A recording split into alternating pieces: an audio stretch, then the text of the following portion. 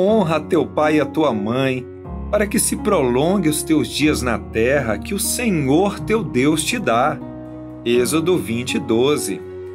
Honre sua mãe, seja ela como for, tenha a personalidade que tiver, esteja ela saudável ou não, seja ela barraqueira ou pacificadora, cheia de amor ou muito fechada, pois honrar sua mãe te dará vida longa.